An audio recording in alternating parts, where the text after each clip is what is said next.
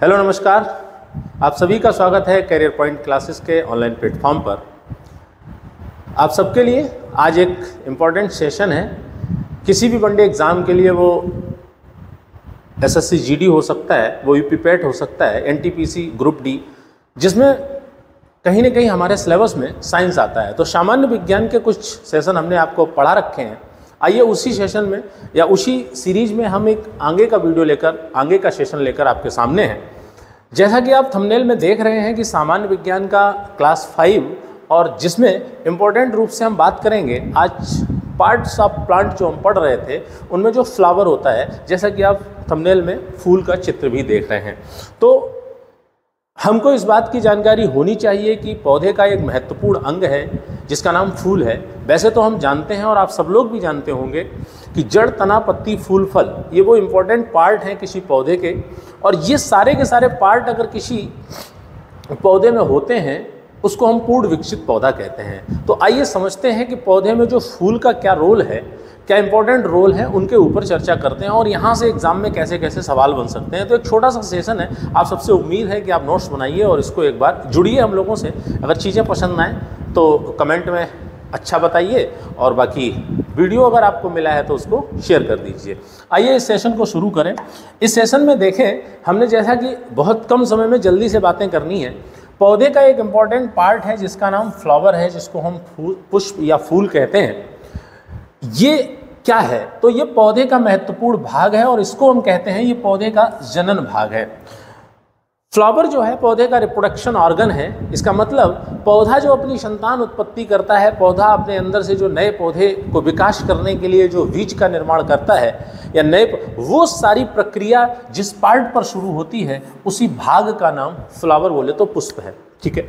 दूसरा कह रहा है कि फल का निर्माण, अगर आपसे कोई पूछे कि पौधे के अंदर फल का निर्माण किस पार्ट के अंदर होता है तो उसके लिए आवश्यक है, पौधे में फल का निर्माण तभी होगा जब उस पौधे के पास एक महत्वपूर्ण ऑर्गन होगा, जिसका नाम फूल होता है, जिसका नाम फ्लावर होता है, जिसका नाम पुष्प होता है। तो पौधे का जनन भाग है, बोले तो पौधे के अंदर जो रिप्रोडक्शन प्रक्रिया है, वो कहाँ से शुरू होती है? फ्लावर से। पौधे के पार्ट फूल में ही वो महत्वपूर्ण अंग होते हैं, जो कहीं ना कहीं पौधे की जनन प्रक्रिया में भाग लेते हैं और जनन प्रक्रिया को हम इंग्लिश में रिप्रोडक्शन कहते हैं। और जब जनन प्रक्रिया होती है, उसके परिणाम स्वरूप ही फल का निर्माण होता है और फल का निर्माण जब होता है, उसी के अंदर एक बीज का निर्माण होता है और उसी बीज से नया पौधा आता है। तो ये जो पूरी की पूरी प्रक्रिया है, इसकी शुरुआत फ्लावर से होती है। अगला इंपॉर्टेंट पॉइंट कह रहे हैं, फूलों के अध्ययन को क्या कहते हैं? विज्ञान की वो कौन सी शाखा है, जिसके अंतर्गत हम फूलों का अध्ययन करते हैं, उसका नाम एंथोलॉजी होता है। तो तीन इंपॉर्टेंट पार्ट आप समझ लीजिए कि पुष्प क्या है। तो पुष्प पौधे का वह महत्वपूर्ण अंग है जिससे पौधे के अंदर, जिसमें पौधे के अंदर जनन जनन प्रक्रिया शुरू होती है। पुष्प वह पार्ट है जहाँ से फल का निर्माण होता है, फ्रूट्स का निर्माण होता है, और फूलों के अध्ययन की शाखा को क्या कहते हैं? एंथोलॉजी तो इतनी बात समझने के बाद आइए हम पॉइंट टू पॉइंट समझते हैं कि पुष्प क्या है, पुष्प की संरचना क्या है। तो अगली स्लाइड में आप देखिए मैंने लिखा है कि पुष्प की संरचना या पुष्प की रचना कैसे होती है, या मैं कहूँ स्ट्रक्चर ऑफ़ फ्लावर फूल का क्या संरचना होती है? तो जैसा कि एक चित्र यहाँ पर इसलिए लगाया है जिससे आप चीज़ों को समझ पाओ। लेकिन उससे पहले मैं कुछ चीज़ें पढ़ दे रहा हूँ। पहला पॉइंट यहाँ पर लिखा है पुष्पासन, दूसरा पॉइंट यहाँ पर लिखा है बाह्य दलपुंज जिसको कैलिक्स कैलिक्स कहते हैं। तीसरा पार्ट यहाँ पर लिखा है दलपुंज, जिसको कोरोला कहते हैं। चौथा पार्ट यहाँ पर लिखा है जिसको हम पुमंग कहते हैं, एंड्रोशियम कहते हैं, और पांचवा पार्ट यहाँ पर लिखा है, जिसको हम जयांग कहते हैं। बारी बारी से हम समझने का प्रयास करेंगे, ये जो इंपॉर्टेंट पार्ट के नाम लिखे हैं, ये क्या है? तो सबसे पहले मैं आपको यहाँ एक बताने का प्रयास करता हूँ कि जो नीचे की लिखे हैं, दो से लेके पाँच तक, बोले तो वह दलपुंज दलपुंज, कोरोला, पुमंग और जायांग। ये पौधे के फूल के मुख्य आर्गन हैं, बोले तो मुख्य पार्ट हैं। ये जो हैं, इनको हम मुख्य अंग कहते हैं और ये जो लिखा है, जिसका नाम पुष्पासन है, ये पौधे के अंग के अंतर्गत नहीं आता है। तो आपसे कोई सवाल कर दे कि पौधे का जो महत्वपूर्ण अंग है, जिसका नाम पुष्प है, उसके कितने भाग होते हैं? तो आप कहना, पौधे के अंदर जो मुख्य भाग होते हैं, उनकी संख्या कितनी होती? है चार। कोई पूछ दे कितनी होती है? बाह्य दलपुंज होता है, दलपुंज होता है, पुमंग होता है, जायंग होता है। क्या होता है? इनके बारे में अभी बात करेंगे। लेकिन आप इतना समझ लीजिए। आइए इस फ्लावर में हम समझने का प्रयास करते हैं। तो एक इंपॉर्टेंट पॉइंट आपको यहाँ पर क्लियर हो गया कि फूल की रचना में जो महत्वपूर्ण पुष्प के भाग हैं, वो चार हैं, जिनका नाम कैलिक्स है।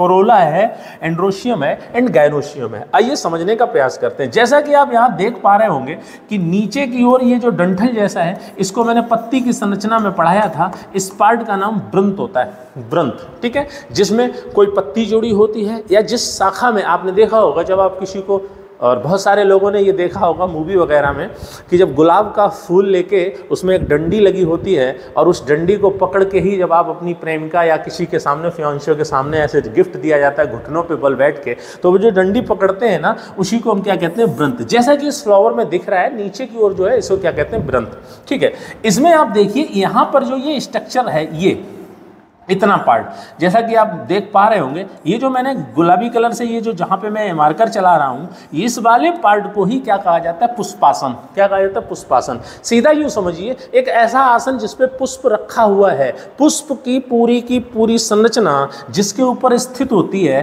उसी को हम बेटा क्या कहते हैं? पुष्पासन। तो ये जो नीचे की ओर है, ये डंठल के समान, ये है, इसको हम व्रंत कहते हैं। और अगर इसमें हम बात करें, इसको क्या कहते हैं? तो इसको हम पुष्पासन कहते हैं। ये दोनों पार्ट पुष्प के नहीं हैं। लेकिन हाँ ये पुष्प से जुड़े होते हैं तो मैं कह सकता हूँ ये सेकेंडरी ऑर्गन है किसी फ्लावर के। आइए, जो ऊपर के चार पार्ट हैं, जिनके नाम मैंने यहाँ पर लिखे यही बड़ा इंपॉर्टेंट रोल प्ले करते हैं। तो आइए इस पुष्प में समझिए। इस पुष्प में आप देख पा रहे होंगे, ये जो ग्रीन कलर की पट्टी, ये जो ग्रीन कलर की पट्टी इधर की ओर आपको दिख रही है यहाँ पर आपको जो ये ग्रीन कलर की पट्टी दिख रही है, ये वाली जो पत्ती दिख रही है, ऐसे ही आपने आपने कभी गुलाब की पत्ती को देखा हो, गुलाब की कली को देखा हो तो रेड कलर का वाइट कलर का, येलो कलर का, ऑरेंज कलर का गुलाब होता है, लेकिन उसकी कली अवस्था में आप देखेंगे, उसके ऊपर हरे रंग की कुछ पत्तियाँ उसको कवर किए होती हैं, और जो हरे रंग की पत्तियाँ होती हैं, उन्हीं को हम बाह्य दलपुंज कहते हैं। तो आपके पेपर में सवाल आ जाएगा कि बाह्य दलपुंज का काम क्या होता है तो हम कह सकते हैं कि जब फूल कली अवस्था में होता है, जब फूल कली अवस्था में होता है तो कली अवस्था में पुष्प की रक्षा करने का काम कौन करता है? तो फूल की जो शुरुआत की अवस्था है, जिसको हम कली अवस्था कहते हैं, उसको रक्षा करने का काम कौन करता है? बाह्य दलपुंज और बाह्य दलपुंज मोस्टली पौधों में कैसे रंग के होते हैं? तो बाह्य दलपुंज कैसे होते हैं? हरे रंग के होते हैं। तो हरे रंग की बेपत्तियाँ जो पुष्प के नीचे की ओर होती हैं, पुष्पासन के ऊपर की ओर होती हैं, उन्हीं को बाह्य दलपुंज कहते हैं। या मैं कहूँ, एक कली आप देखना, कली के बाहर की ओर जो हरे पत्तियों से कली ढकी हुई होती है, उन्हीं को हम बाह्य दलपुंज कहते हैं। इस फ्लावर में ये जब ये फूल खिल जाता है तो पत्तियाँ नीचे की ओर झुक जाती हैं। जैसे कि यहाँ पर आप देखें, ये वाली जो पत्तियाँ हैं, इन्हीं को हम क्या कहते हैं? वाह दलपुंज कहते हैं। तो वाह दलपुंज का क्या काम है? तो कली अवस्था में बाह्य दलपुंज, जिनको हम कैलिक्स कहते हैं, ये क्या करती हैं? कली अवस्था में पौधे की पौधे की सुरक्षा प्रदान करते हैं पुष्प की सुरक्षा प्रदान करती हैं और ये किस रंग की होती हैं? हरे रंग की होती हैं। तो यहाँ इस चीज़ को आप नोट कर लेना, इस चीज़ को आप देख लेना, ठीक है? आइए, आगे की ओर पढ़ते हैं और अब आप थोड़ा और समझने का प्रयास करें। पुष्प का अगला पार्ट है जिसका नाम लिखा है दलपुंज। पुष्प का अगला पार्ट लिखा है जिसका नाम लिखा है दलपुंज। दलपुंज क्या होता है जिसको हम कोरोला कहते हैं? पौधे के अंदर जो ये रंगीन पत्तियाँ हैं, ये आप जो देख पा रहे हैं, ये जो रंगीन कलर की पत्तियाँ हैं, इन्हीं को बेटा क्या कहा जाता है? दलपुंज कहा जाता है। दलपुंज। तो अगर आपसे पूछे दलपुंज क्या है तो पुष्प का जो रंगीन भाग होता है, पुष्प का जो फूल का जो रंगीन भाग होता है, पुष्प का जो रंगीन भाग होता है, उन्हीं को हम क्या कहते हैं? दलपुंज कहते हैं। उन्हीं को क्या कहते हैं? दलपुंज। यही जो दलपुंज है, आपने पुष्प में देखा होगा, फूल में देखा होगा, कई गुला, जैसे गुलाब के फूल में आप देखिए, कई गुलाबी कलर की या पिंक कलर की बहुत सारी पत्तियाँ होती हैं। तो जो रंगीन भाग होता है, उसी का नाम दलपुंज होता है। इसका बड़ा इंपॉर्टेंट रोल होता है, ज़रा ध्यान से सुनिए।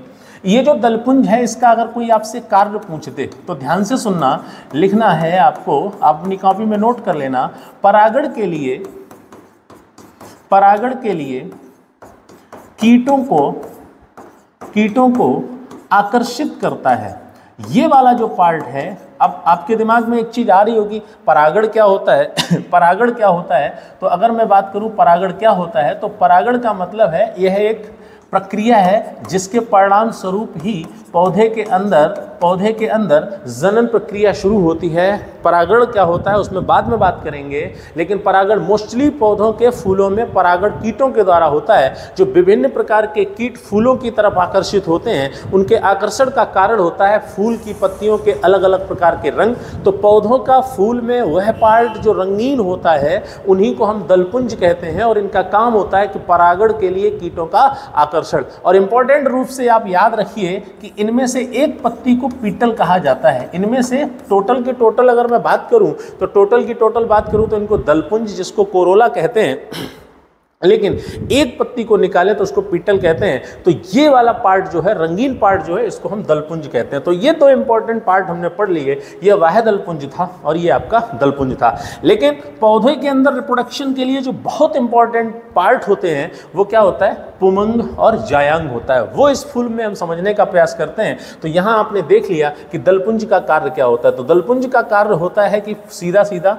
कीटों का आकर्षण, काहे के लिए? परागण के लिए। अब हम समझने का प्रयास करते हैं, इसी फूल में हम समझने का प्रयास करते हैं कि पुमंग क्या होता है। आप देख पा रहे होंगे कि इसमें ये वाला जो पार्ट है, जिस पे ये लगा है, ये वाले जो आपको पार्ट दिख रहे होंगे, अगर मैं इसको ब्लैक करता हूँ तब आप समझ पाएँगे। ये वाला जो पार्ट है, यहाँ पे आप देखिए, ये पार्ट है, यहाँ पे आप देखिए, ये पार्ट है, यहाँ पे आप देखिए। ये जो पार्ट आप देख पा रहे हैं, आपने गुड़हल का फूल देखा होगा। गुड़हल के फूल में किनारे नीचे तो हरी पत्तियाँ होती हैं, ऊपर रंगीन पत्तियाँ होती हैं। बीच में आपने एक उसमें से फिलामेंट जैसा निकला हुआ देखा होगा। जब उस फिलामेंट को आप देखेंगे ऊपर की ओर, उसमें ऐसे छोटे छोटे धागे जैसे निकले होते हैं, उनके ऊपर येलो येलो कलर का कुछ लगा हुआ होता है। उन्हीं को क्या कहा जाता है? पुमंग कहा जाता है। इसी को हम क्या कहते हैं? एंड्रोशियम। ये जो एंड्रोशियम है, इसके लिए महत्वपूर्ण रूप से आप देख लीजिए, यही जो है, यही जो है पौधे का नर भाग होता है। ये इसका काम क्या होता है? सीधी बात है, ये क्या करता है? इसके अंदर एक विशेष प्रकार प्रकार के कण होते हैं, जिनका नाम पराग कण होता है। और यही पराग कण पौधे के अंदर मेल ऑर्गन से निकलने वाली जो चीज़ है, उसका नाम परागकरण होता है। और परागकण किसमें पाया जाता है? पुमंग में पाया। तो पौधे के फूल में जो नर भाग है, उसी का नाम पुमंग होता है। इसके ऊपर आगे चर्चा करेंगे। और फाइनली एंड लास्ट लिखा है जायांग, जिसको गाइनोसियम कहते हैं। तो आप इस फूल में देखने का प्रयास करें। इस फूल में आप देखिए, ये वाला जो पार्ट है, ये वाला जो पार्ट है, जिसको आप ये देख रहे हैं, इसके तीन पार्ट हैं। ऊपर वर्तिका कहते हैं, बीच में वर्तिका होता है, और यहाँ वाला हिस्सा अंडाशय होता है। ये जो पार्ट मैं येलो कलर से कर रहा हूँ, ये वाला पार्ट ये वाला पार्ट ही पौधे के फूल के अंदर मादा भाग है और इसी का नाम जायांग होता है। इसी का नाम जायांग होता है। तो मादा भाग जो पुष्प का होता है, उसका नाम जायांग होता है। नर भाग जो पुष्प का होता है पुमंग होता है। जब नर भाग और मादा भाग मिलते हैं, तभी एक प्रक्रिया संपन्न होती है, जिसका नाम जनन होता है। और जनन प्रक्रिया होने के बाद ही इस पुष्प के अंदर भ्रूण का विकास होता है और भ्रूण के विकास के बाद ही इसमें फल का विकास होता है और फल के विकास के बाद ही पौधे के अंदर एक नए चीज़ का निर्माण होता है, जिसका नाम बीज होता है। तो पुष्प क्या इंपॉर्टेंट प्ले रोल करता था, ये मैंने आपको बताने का प्रयास किया। तो हरे रंग की पत्तियों को हम बाह्य दल पुंज कहते हैं, जिसके ऊपर ये पुष्प रखा हुआ है, इसको पुष्पासन कहते हैं। रंगीन रंग की पत्तियाँ उनको हम दलपुंज कहते हैं और नर भाग को पुमंग कहते हैं और मादा भाग को जायांग कहते हैं। आइए अगली स्लाइड में हम समझने का प्रयास करते हैं कि मादा भाग और नर भाग में कौन कौन से पार्ट होते हैं, इनका क्या रोल होता है। और कल जब इसके बाद मैं अगला सेशन कल लूँगा, उसमें हम परागण या परागण, उसके बारे में बात करेंगे, जहाँ हम दो इंपॉर्टेंट रोल को प्ले करेंगे दो इंपॉर्टेंट चीज़ों के रोल देखेंगे। करेंगे एक पुमंग और दूसरा आपका क्या होगा? जायंग। मैं आपको इंपॉर्टेंट रूप से बता दूँ कि ऐसे पौधे, ऐसे पुष्प जिनके अंदर ये सभी पार्ट होते हैं, ऐसे पुष्प जिनके अंदर ये सभी पार्ट होते हैं, इन्हीं को हम पूर्ण पुष्प कहते हैं। इन्हीं को हम क्या कहते हैं? पूर्ण पुष्प कहते हैं। जिनके अंदर कुछ पार्ट नहीं है, एक दो पार्ट नहीं पाए जाते हैं, उनको हम अपूर्ण पुष्प कहते हैं। और जो पूर्ण विकसित फूल होता है, उसमें आप ध्यान रखेंगे, ये सारी की सारी चीज़ें पाई जाएँगी। तो हमने इस स्लाइड में पढ़ने का प्रयास किया पुष्प की संरचना। पेपर में सवाल बन सकता है, कीटों को आकर्षण करने के लिए पुष्प का कौन सा भाग जिम्मेदार होता है? आप कह देंगे दलपुंज। कली की अवस्था में फूल का सुरक्षा प्रदान करने का काम किसका होता है? तो आप कह देंगे वह दलपुंज। पौधों के फूल के अंदर नरभाग क्या होता है? आप कह देंगे पुमंग, और नमादा भाग क्या होता है, आप कह देंगे जायंग। आइए पुमंग और जायंग को और समझ लेते हैं। तो अगली स्लाइड में हम देखते हैं। हमने यहाँ पर सीधी स्लाइड ही बनाई है और इसमें यही लिखा है कि बताइए कि बताइए कि पुष्प का नर भाग क्या है? तो आप कहेंगे पुष्प का नर भाग जिसको हम पुमंग कहते हैं, एंड्रोशियम इसको अंग्रेज़ी में कहते हैं। पुष्प के नर भाग के तीन पार्ट होते हैं। एक का नाम पुंकेशर दूसरा का नाम पराग कोष और तीसरा का नाम परागकण। मैं समझाता हूँ, जैसे मैंने अभी आप ऐसे समझिए, अभी मैंने एक फूल, मैं यहाँ पर ऐसे देखिए, मैंने ये बना दिया, एक फूल का ये पुष्पासन है, ठीक है? इसके ऊपर अगर मैं देखूँ, एक संरचना बनाता हूँ, हल्का चित्र जिसको आप समझने का प्रयास करना, इस पुष्पासन के ऊपर एक ये हमने आपको मादा भाग, जिसका नाम जायांग है, और इसमें बहुत सारी रंग बिरंगी पत्तियाँ होंगी जिनको हम दलपुंज कहेंगे। यहाँ हम सिर्फ़ और सिर्फ़ बता रहे हैं जायांग और पुमंग। ये हो गया जायंग और इसमें ये निकले हुए हैं पुमंग।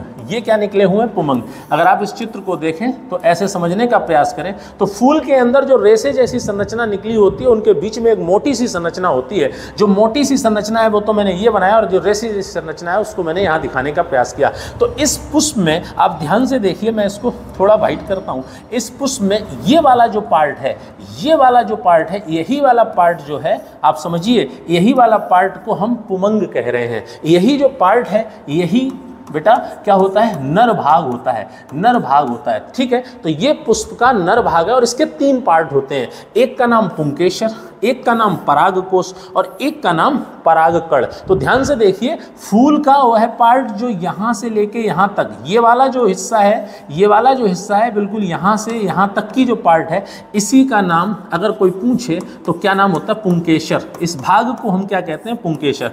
पुंकेशर वह तंतु है जो फूल को पराग कोष से जोड़ता है, फूल के अन्य भाग को पराग कोष से जोड़ने का काम, ये जो आपको ऐसी संरचना दिख रही है धागा नुमा तंत्र नुमा संरचना दिख रही है, इसी को पुंकेसर कहते हैं। और इस पुंकेसर, ये सभी, ये वाला हिस्सा पुंकेसर, ये वाला हिस्सा पुंकेसर और ये वाला हिस्सा पुंकेसर। इस पुंकेसर के ऊपर जो ये मैंने आवरण जैसा बनाया है, इसी का नाम पराग कोष होता है। इसी का नाम क्या होता? पराग कोश। पराग का मतलब वह कण, जैसे आप ध्यान से देखिए ह्यूमन बॉडी में जब रिप्रोडक्शन होता है तो मनुष्य मानव मेल ऑर्गन से स्पम निकलते हैं। लेकिन जब प्लांट में रिप्रोडक्शन होता है तो मेल आर्गन में स्पर्म की जगह पराग कण होते हैं। और पराग कण जहाँ रखे होते हैं, उस पार्ट का नाम पराग कोश होता है। कोश का मतलब जहाँ कोई चीज़ संग्रह है। इस कोश में क्या चीज़ संग्रह है, उसका नाम पराग है। ठीक है ना? और इसी के ऊपर, अब ध्यान से देखना, इसी के ऊपर जो छोटे छोटे छोटे छोटे ऐसे पार्ट इस परागकोश के ऊपर होते हैं,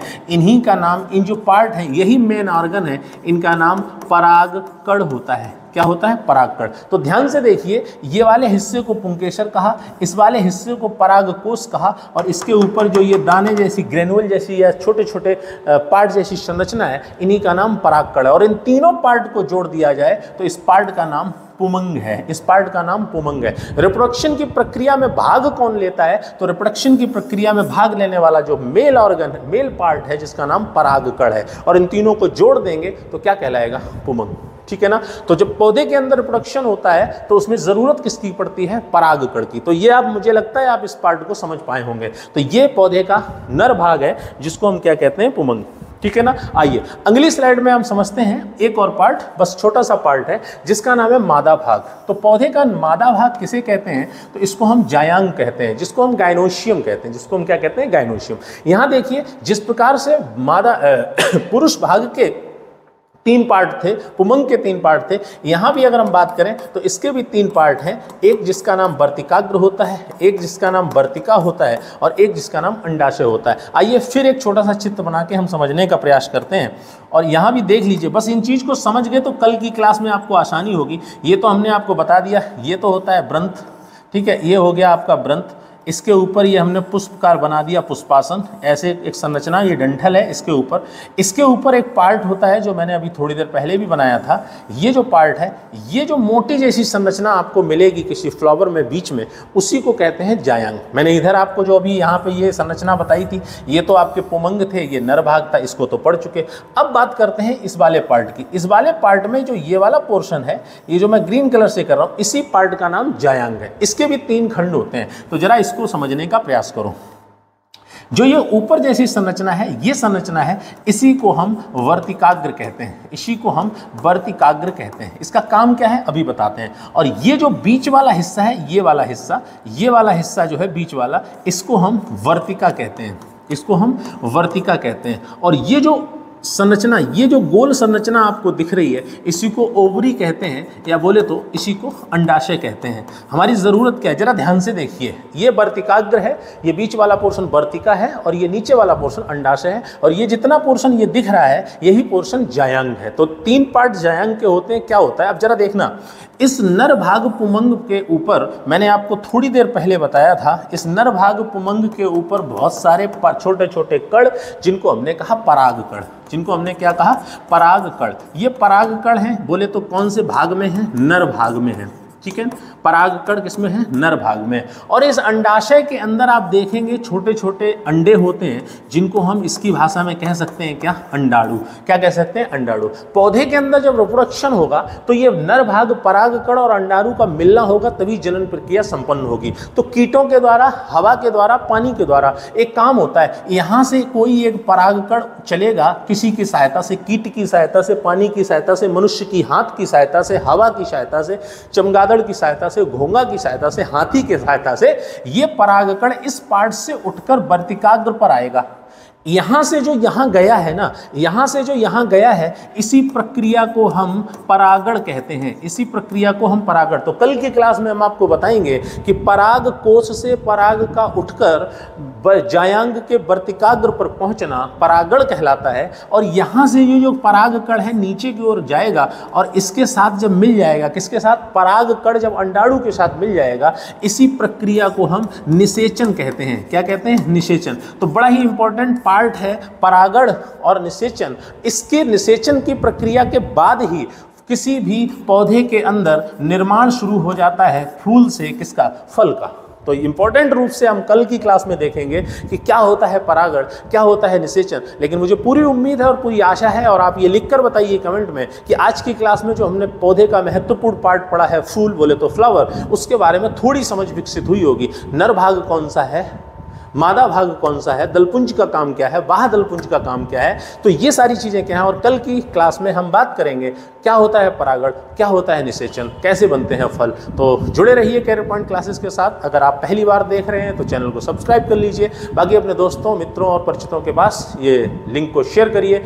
मिलते हैं कल फिर अगली क्लास में। जैसा कि बताया सामान्य विज्ञान की क्लास में। तब तक मस्त रहिए, व्यस्त रहिए, पढ़ते रहिए। जय हिंद, धन्यवाद।